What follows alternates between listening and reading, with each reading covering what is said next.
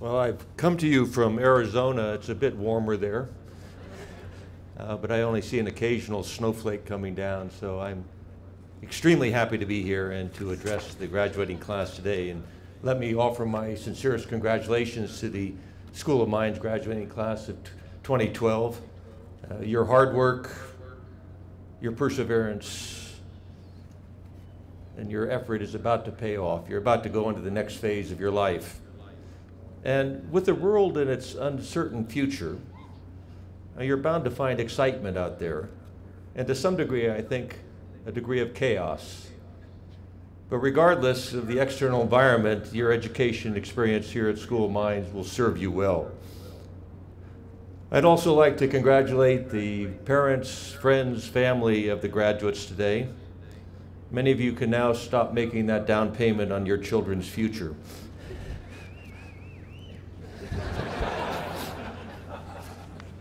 You ought to see what the tuition is at Stanford if you think it's bad here.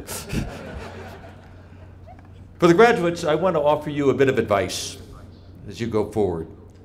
And for the last several years, you've uh, studied hard under the guidance of your professors who know their subject material very well. You've read the great books. You've done problem assignments. You've written papers on esoteric topics. You've passed a myriad of exams. And along the way, you've had the benefit of the words of wisdom of your professors, school administrators, the other faculty members, mentors, and others. Today, I also want to offer you a bit of advice, a bit of wisdom, some advice that you can take forward with you for the rest of your career. But my words of advice, I have to warn you in advance, are not coming from the great books. They're coming from a source of ultimate wisdom, a source that we've all consulted throughout our lifetime, a source which, over my 45 years in the technical fields, I've consulted, and I've never found this source of wisdom to be wrong. That source of wisdom, ladies and gentlemen, is the Chinese fortune cookie.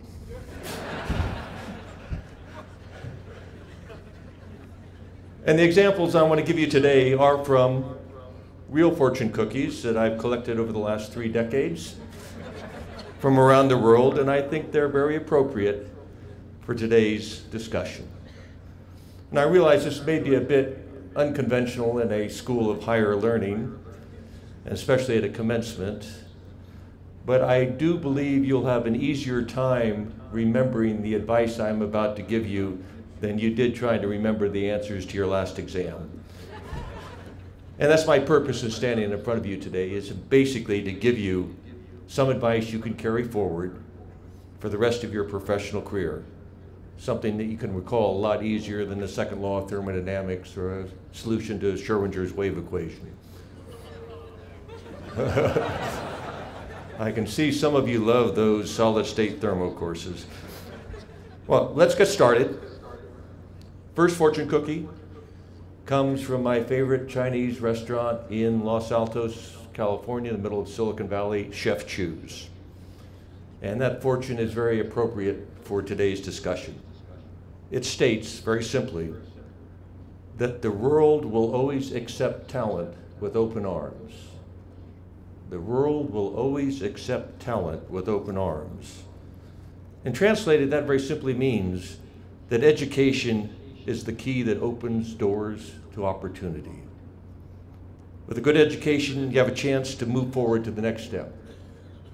Whether it's to graduate school, to get the job of your dreams, to move forward in life, to pursue research interests, to be an entrepreneur, maybe even to make enough money to pay back your college loans.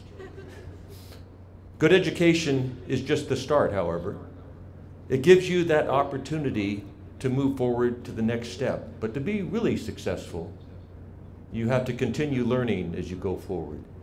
In fact, I think most of the older folks in the audience would tell you today that you've just completed the easiest part of your education. The more difficult part will start in the professional workplace. I'd also suggest that you have to have a passion for what you do. And that's really the talent the world is looking for. That talent is defined as a great education plus a love and a passion for the everyday job at hand. If you have that combination, then I don't think you can go wrong.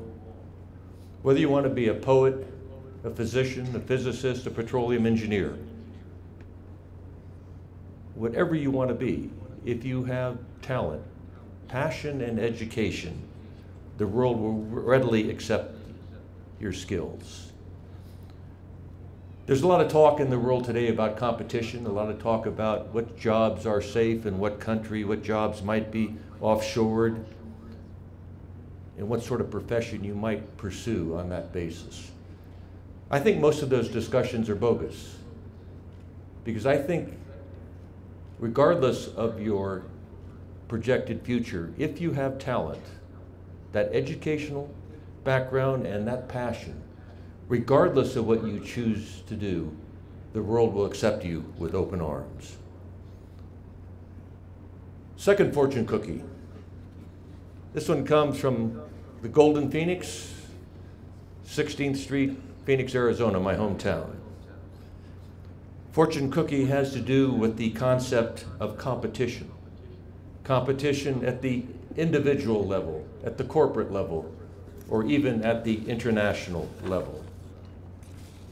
It states very simply that you cannot win unless you choose to compete. You cannot win unless you choose to compete.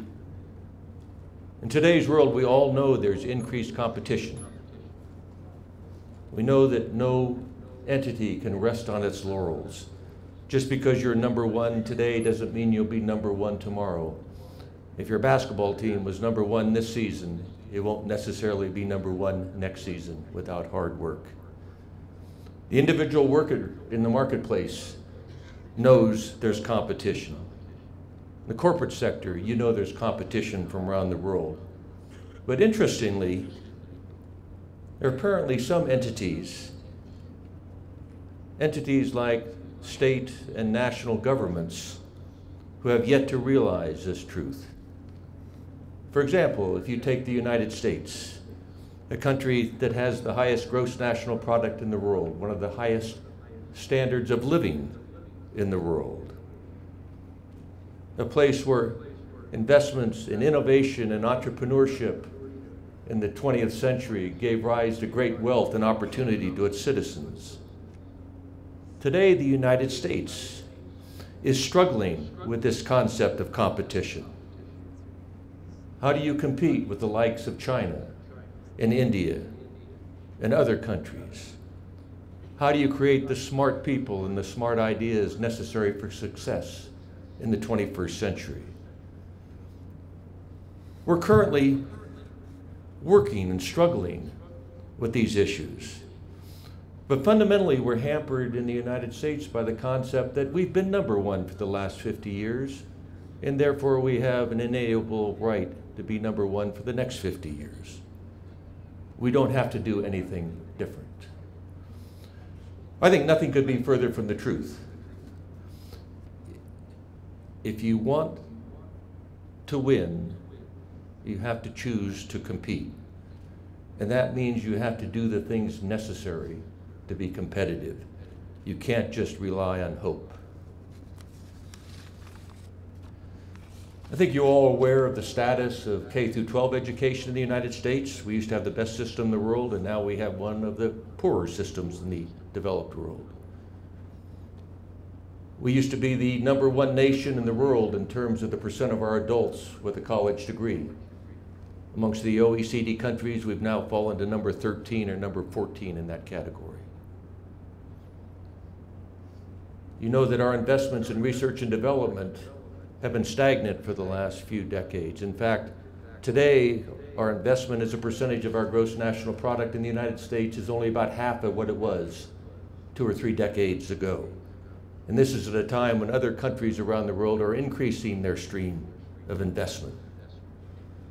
Soon, we as a country, as will every country on the face of the earth, have to decide to compete just as you as individuals will have to decide to compete if you want to be successful in your future. My final fortune cookie, there are only three of them, has to do with individual initiative. You know, sometimes in life we depend too much on others to solve our problems.